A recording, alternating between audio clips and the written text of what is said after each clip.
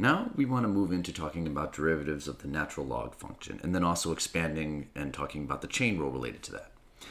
So the formula we're going to follow for this is let's let u, all right, be some differentiable function of x. All right. So the first off is the non-chain rule. So if you just have the derivative with respect to x of just the natural log of x, okay, this ends up being equal to 1 over x. That's it. Very simple. So anytime you see something like this, just the natural log of x.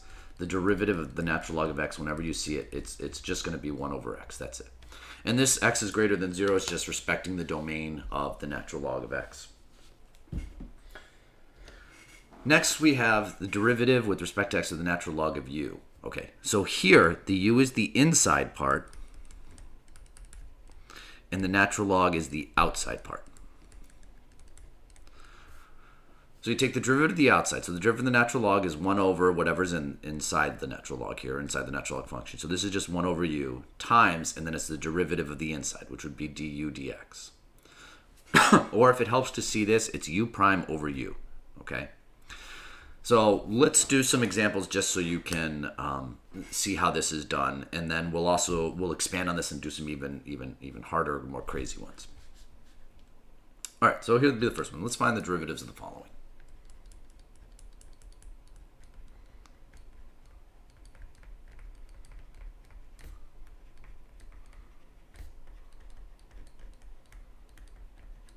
So here'll be the first one. Let's look at f of x is equal to the natural log of 3x here. All right, so notice here, I've got something other than x on the inside. Okay, so I'll, I'll, I'll do how I've been doing introducing this. I'll let u be equal to 3x. So this now becomes f of u is equal to the natural log of u. So going back, the derivative here is u prime over u. So f prime here is equal to u prime over u. So then the last thing you need to do is just return it to in, in terms of x. So u is 3 over x, or excuse me, 3x. And u prime, u prime, the derivative here, the derivative of 3x here is just 3. And look, you'll notice the 3's cancel out. And, and, and that's uh, will always happen if it's just a 3x like this. But let's let's now expand it on this, okay? Let's look at this one. Let's find the derivative of f of x is equal to the natural log of 3x plus 1. So look, if it helps to see this, all right, you know, just as a quick, like, you know, very, very quick formula. It's the derivative of the inside divided by the inside, okay, whenever you see the natural log here. So it's the derivative of the inside. So this is my inside. So the derivative of um, 3x plus 1 is just 3, divided by the inside. Well, what's inside the natural log function here is 3x plus 1. All right, let's try this one. Let's look at f of x is equal to the natural log of, uh, let's do 4x squared plus x. All right, so f prime of x take the derivative of the inside. So the derivative of the inside, bring the 2 down. This becomes 8x plus 1. The derivative of x is 1. Divided by the inside, which would just be 4x squared plus x. Derivative of the inside divided by the inside. Always remember that. Boom, boom. All right, let's do some other ones. Let's look at this one. Let's find the derivative of this. f of x is equal to the natural log of x squared. So you're going to have chain rule here. so here, the inside is the natural log of x because it's underneath the square, and the square is the outside. So f prime of x is equal to, bring the 2 down, this is 2, leave the inside alone, natural log of x, and then you get 2 minus 1, right? I'll even write that up here. Now you take the derivative of the inside. Well, what's the derivative of just the natural log of x? It's just 1 over x.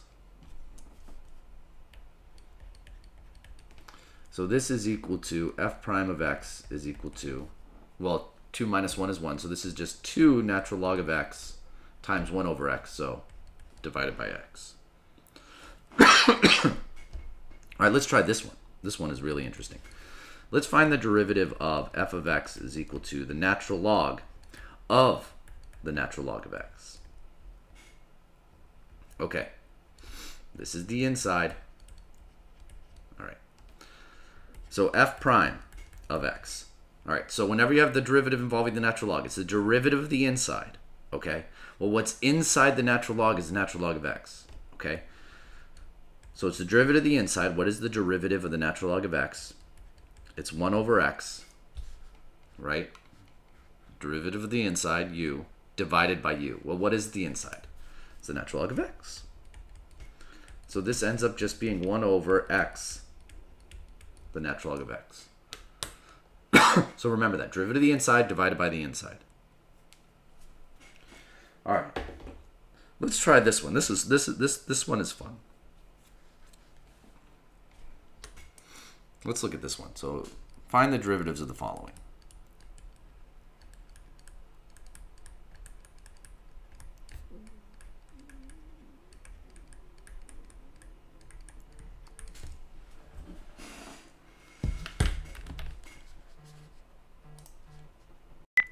All right, so let's find the derivative of this here. So y is equal to the third root, or excuse me, the natural log, sorry about that, the natural log of the third root of 2x squared plus 1. So this seems like really crazy, right?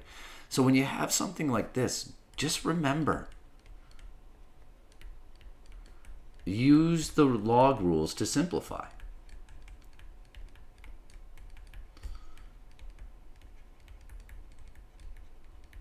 So use the log rules to simplify first. So I can write this as the natural log of 2x squared plus 1 to the 1 third power. So my rules of logs, right, say I can bring this down in front, the exponent. So this is 1 third times the natural log of 2x squared plus 1. So then now dy dx, the 1 third is now just a constant. Ah, and this is so easy here, okay? Derivative of the inside, derivative of 2x squared plus 1 is 4x divided by whatever's on the inside, 2x squared plus 1. And that's it. Let's try this one. Let's look at y is equal to the natural log, and then this is this is crazy in parentheses here. It's x times x squared plus 1 cubed divided by 2x minus 5 squared. so what you're going to do here is you're going to use your rules of exponents, right? Division gets broken up as subtraction. So this natural log of x times x squared plus 1 cubed minus the natural log of 2x minus 5 squared. And now multiplication gets broken up as addition, right? So this is the natural log of x plus the natural log of x squared plus 1 cubed minus the natural log of 2x minus 5 squared. So what do you do next? Ah, let me bring the exponents down. So y is equal to the natural log of x plus 3 times the natural log of x squared plus 1 minus 2 times the natural log of 2x minus 5. All right, so now you see so much easier. So much easier to do this this way, use breaking it up. So then dy dx.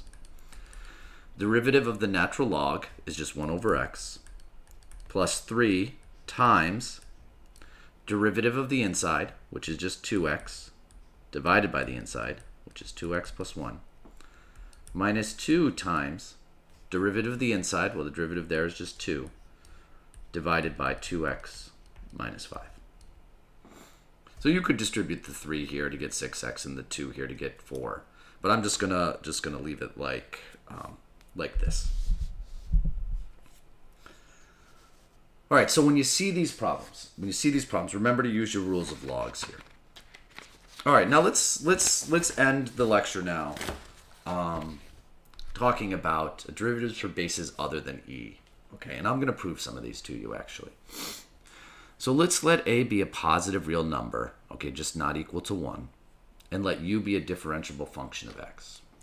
So if I have the derivative with respect to x of a to the x, no longer note that it's no longer e to the x here. this is equal to the natural log of a times a to the x. If I have the derivative with respect to x of a to the u, so again here, the u is my inside part. So this would just be the natural log of a times a to the u, okay, instead of a to the x, a to the u, and then the derivative of u with respect to x, okay, so u prime. so if it helps to see it like this, this is the natural log of a times a to the u times u prime here. Next, if you have log base a, so no longer the natural log, right? Because the, the natural log is log base e. So this is log base a of x. This is just equal to 1 divided by the natural log of a times x. Here, okay, if you have log base a of u, and u is an inside, some, so some function of x, this is equal to 1 over the natural log of a times u times the derivative of u with respect to x. Or you could write it as this, u prime divided by the natural log of a times u. All right, let me let me prove some of these to you, just so just so you know that they work. And it's very very simple, like algebraic proofs. Okay, both of the proofs are actually in the text, but so let me let me just walk you through, say say this this one right here. Okay, this a to the u or a excuse me a to the x is equal to the natural log of a times a to the x. So let's prove that the derivative with respect to x of a to the x is equal to the natural log of a times a to the x. Well, the trick here is to rewrite it. Okay, so it turns out that a to the x is the same thing as e to the natural log of a times x. Right? This is just, you know, the natural logs would cancel out and you would just have a to the x here. So now, if you're going to do this, the derivative with respect to x of a to the x is the same thing as the derivative with respect to x of e of the natural log of a times x. We'll just just use the chain rule here, okay? This is this this becomes the derivative of this is e the natural log of a times x times and then the derivative of the numer uh, derivative of the inside here well, the derivative of x is 1, so you're just left with the natural log of a. Well, look, what is e ln of a of x? Well, that's just a to the x. Which is indeed the natural log of a times a to the x. so I encourage you to look at the, the, the proof for, the, for this one here in the text. It's another very just simple, quick way. You, you just do a, a, change of base in the logs formula, and then it's a really very simple proof. All right, but so for now, just you just have to remember the formulas, and then let, us do some practice problems, um, just so we can make sure we have it. All right, so let's find the derivatives of the following.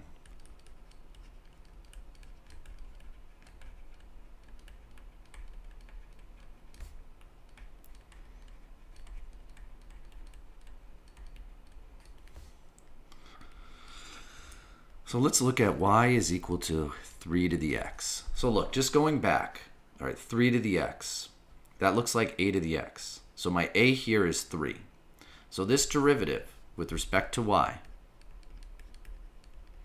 is equal to the natural log of a. So this would be the natural log of 3 just times 3 to the x. That's it. Now let's try this one. Let's look at y is equal to 3 raised to the 2x cubed power.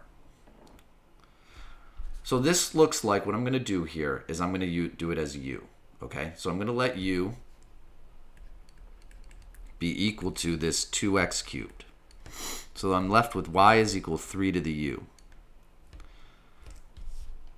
So look, going back, this is natural log of a times a to the u times u prime. So here my a is 3. So dy dx is equal to the natural log of 3 times 3 to the u times u prime. Well, now let's just substitute back in. So the natural log of 3 stays, that's just a constant, times 3 to the u. Well, I let u be 2x cubed And then the derivative here, the derivative of this is just bring the 3 down. So this ends up just being 6x squared. Which you can, you can, you know, oops. Which you can just, you know, leave it like that, or you can even rewrite it as, you know, 6x squared times the natural log of 3 times uh, 3 to the 2x cubed. Got a little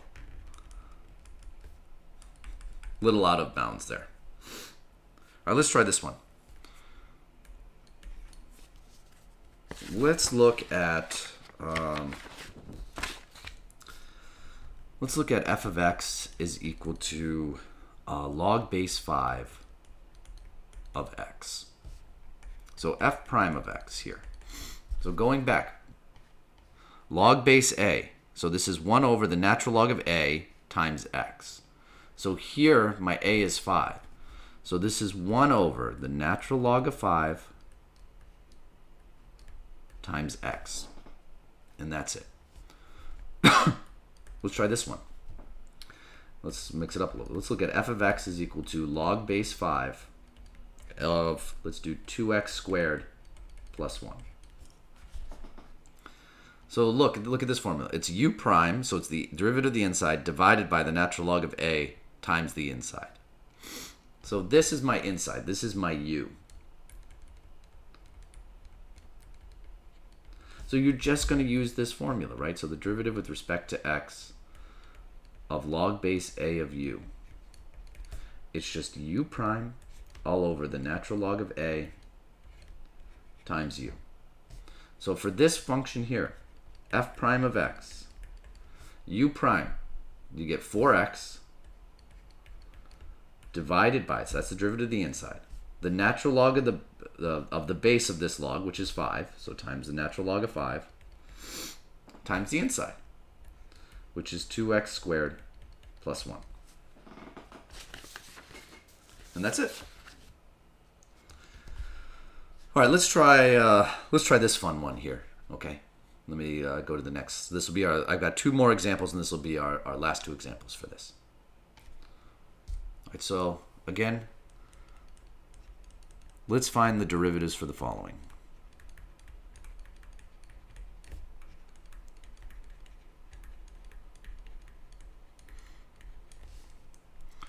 Let's look at uh, f of x is equal to just log of sine of x. Well, when you see log by yourself, by itself, just remember that's log base 10 of sine of x. Okay, so f prime of x. Sine of x is the inside, so okay. So what is the derivative of sine? The derivative of sine is cosine divided by the natural log of the base, so the natural log of 10 here, times sine of x. And then this is cool, actually. What is sine over cosine? Well, sine over cosine is cotangent of x. So this ends up being just cotangent of x over the natural log of 10. All right, now let's do this one. Let's find the derivative for y is equal to 3 to the x times log base 2. Or, sorry, log base 2 of x. so you're going to need to use the product rule here, right? So dy dx. The derivative of 3 to the x, well, that's just the natural log of 3 times 3x times log base 2 of x plus, I'm going to leave this 3x alone, times, and then the derivative here, you know, the base here is 2, so this ends up being 1 over the natural log of 2x. So, you know, even, even, even just cleaning this up, this is the natural log of 3 times 3x times log base 2 of x plus 3x all over the natural log of 2x. So this was just, just applying, applying our product rule here. All right, class. Uh, you know, we we I have done so many videos of this, or so many practice problems of these uh, chain rules here. But you know, when you get a chance on your homework, it's just gonna be practice, practice, practice, practice. We'll make this um, we'll make this easy for you. and then as always, if you have any questions, uh, just let me know.